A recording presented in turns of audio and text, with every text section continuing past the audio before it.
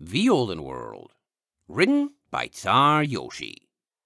Chapter 348 Snip Snip.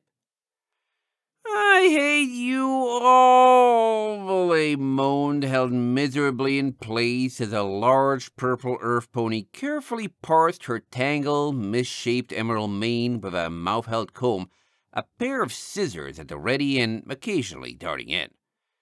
Starlight's horn glowed, maintaining four crystals that bound the bat pony's hooves to a barber chair in the upper story of Sycamore's bathhouse. Valet struggled against them, but she had a feeling it was mostly for show. In Ironridge, she had once shadow snuck free from a crystal prison, and her head stayed still enough that Sycamore could actually work. Beside her, Amber reclined on a pillowed bench, craning her neck and chuckling. A little more to the left? Hey, step back and let me see the back. Ooh, I like that. Hey, Valet, you should see yourself in the mirror. Up, Valet whimpered, sounding like she was going to be sick. Starlight hoped it was just a dramatization because that would be gross. No one will ever be able to take me seriously anymore. So, Amber shrugged, showing off her own new restyled mane. Looking adorable is better than looking like a hack. Sure, it's funny to take care of yourself. And if you can get Mares to swoon, hey, isn't that better than not? Starlight self-consciously touched her own bang. It had only been a week since the last mane cut, and it hadn't grown out enough to need trimming, but Sycamore had taken nearly an hour to professionally brush out and condition it, and it had reached a point where her head felt made of feathers. The short hair swayed effortlessly at her touch, light enough to hold itself up instead of staying matted to her skull, and when she peered in a mirror positioned where Valet couldn't see, her teal stripes stood in sharper contrast than she had ever seen in Equestria. She almost felt pretty. It was nice, even though she knew she valued plenty of things over her own appearance and would probably go back to being a scruffy ragamuffin the moment something happened. Not that anything would happen. She was going to talk to Maple, they were probably still going to return to Ironridge, and then they'd fly back to Riverfall, settle in, and live a nice, peaceful, fulfilling life. At least until she was an adult. Probably longer. She told herself that one more time, not understanding why she couldn't shake the feeling it wasn't true. Maple was outside, down in the pool area in the middle of Sycamore's triangular compound, the magically generated rain shield Amber had installed, keeping the bathing area dry as the weather continued to pour down atop it. Willow was there too, and White Chocolate had joined them once again. It was easy to tell her apart from Willow, even at a distance, Starlight noted, staring out and watching them through an inward-facing window. White Chocolate was the one Maple never quite looked directly at. There were other ponies too. Several foals Willow had picked up her eldest two and brought them with her, and they were eagerly acquainting themselves with the middle-aged colts and fillies of White Chocolate's brood. All the youngest were still nowhere to be seen, but Starlight noticed Hayseed glued to her mother's side, and Snow staring intently at the pools from the sidelines, missing his trademark magazine. What was he staring at? Starlight frowned, trying to trace his line of sight, but the only thing she could see was a bunch of mares and foals laughing, relaxing, and playing. She shook her head in confusion. The other pools in the bathyard were occupied too, some by groups of two and others by larger parties like theirs. Starlight mentally shrugged, glancing up at the rain hitting the shield.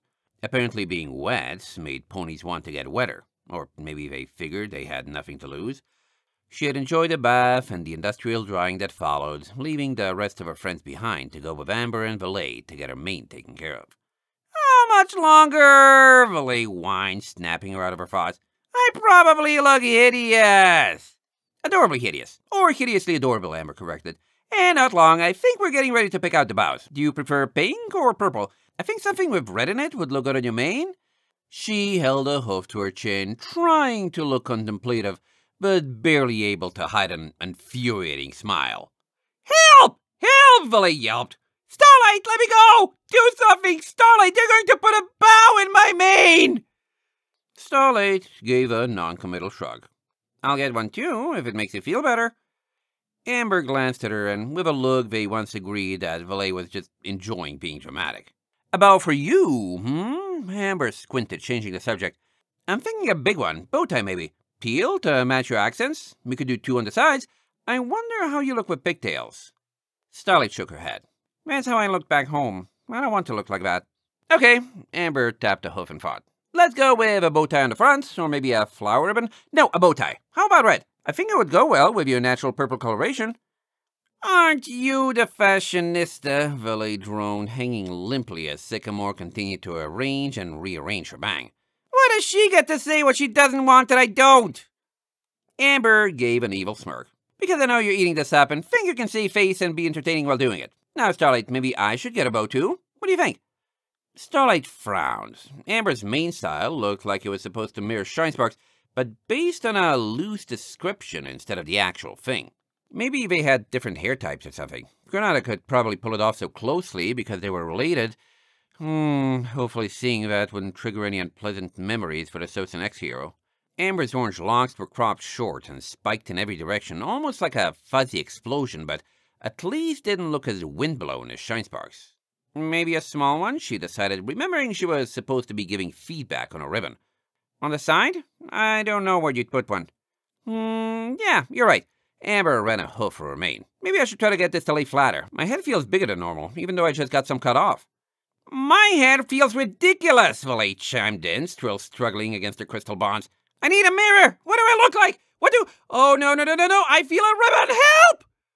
This isn't a bow, Sycamore said around the comb at her teeth, holding a hoof on the back of Valet's head as she measured her part one last time. That's a bow. Ah!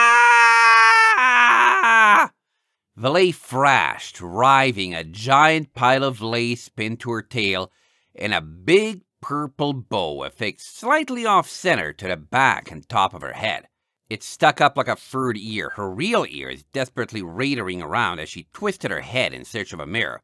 Starlight, what did she do to me? Amber didn't quite stand on her own, Starlight supporting her as she got up and walked in front of Valet. Mercilessly, she probed with her eyes, grinning wider and wider, and refusing to say anything until Starlight felt compelled to put the bat pony out of her misery. You look cute, she offered. Try Adora cute, Amber corrected as Valet started to weep. You look like a school filly from these weird comic books the matter of a Folkhead Treadleman used to write. Super straight bang at shoulder length from the sides, but it'll stay out of the eyes, and then short in the back. What? Whimpered, chin beginning to wobble. Yeah, sorry. Amber shrugged. We would have made it nice and straight there too, or maybe done a cute little curl around your neck, but that's where you got chopped, so we had to make do with short. Got it going up a little, so if you wear your hat, it'll look like you got a bunch of your mane tied up under or something, and the style's deliberate. Hey, you could actually do that while it goes back in if you want to look consistent. And then there's the bow. The bow!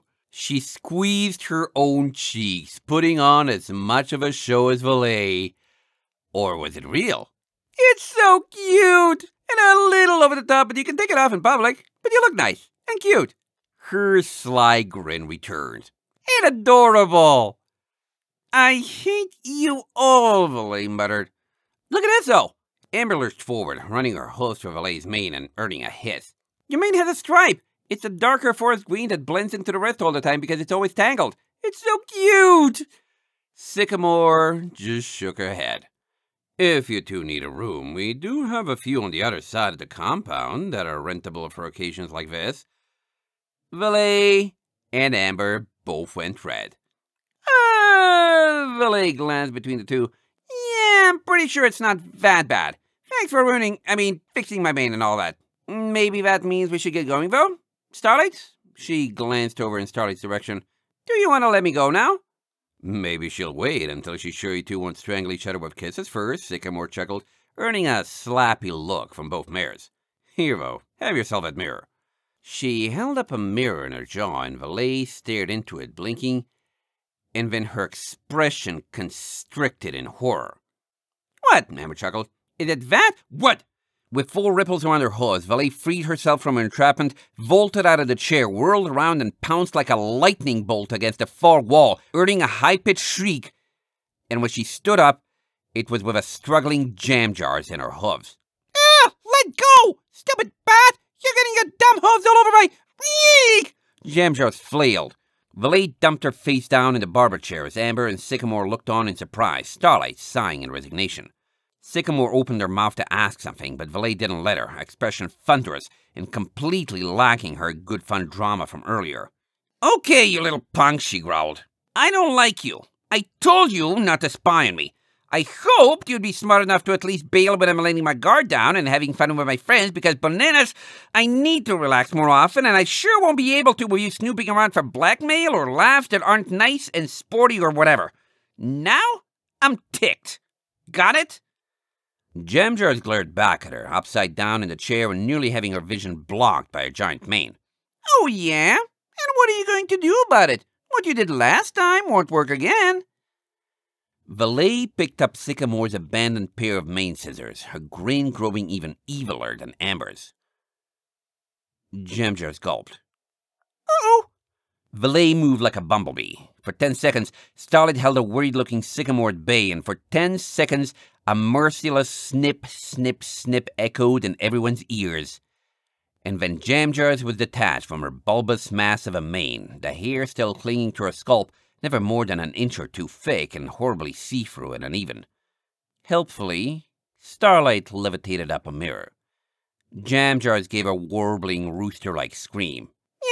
Serves you right, Valet apologized unapologetically, brushing the chaotic nest of raspberry red to the floor.